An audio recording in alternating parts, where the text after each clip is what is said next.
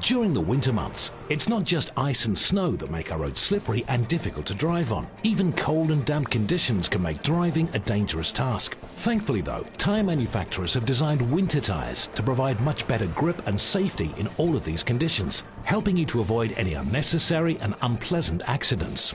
At temperatures below 7 degrees, summer tyres become hard and are less able to key into the road surface. Winter tyres are made from a special tread compound which stays flexible in cold conditions. This is so the tyre can lock into the peaks and troughs of the road surface and grip the road better.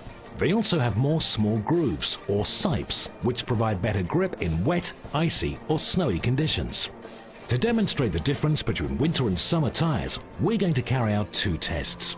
The first is a braking test, which will show clearly the difference in stopping distances for the two tyres. The second is a cornering test, which will show how effective the different tyres are at gripping in cold conditions. So let's show you the difference with two virtually identical cars, except the red one is fitted with standard summer tyres and the blue with winter tyres, designed to provide better grip and safety when temperatures drop below 7 degrees C. Now for the braking test. In wintry conditions, even to get a car moving can be difficult. Here, our car struggles for grip, and when a driver gets up to 15 miles per hour and reaches our marker, he slams on the brakes.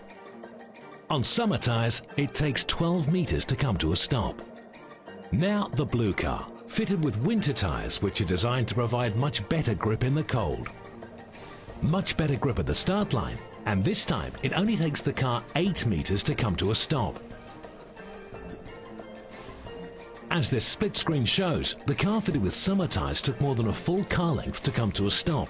And remember, this was at just 15 miles per hour. Imagine the difference in potential damage if sudden braking was needed on a busy main road when speeds are much faster. Now for cornering. Both cars are going to try and drive through the simple bend at a speed of just 15 miles per hour.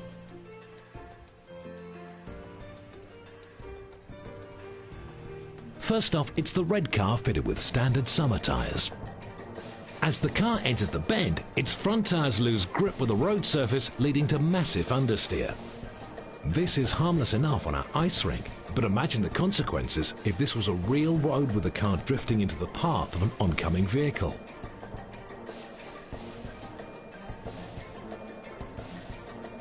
Now for the winter tyres. Again we can see that when the car starts off, the driver has much better traction and control, helping him to get up to speed much quicker. And through the cone safely. Wow, what a difference. Much better grip and complete control on the winter tyres. Let's see the difference again from our overhead camera.